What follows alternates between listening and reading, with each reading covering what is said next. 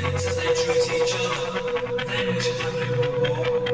We should be alike, brothers with a father and mother, with one sky above us, a one country around us, and one government for all.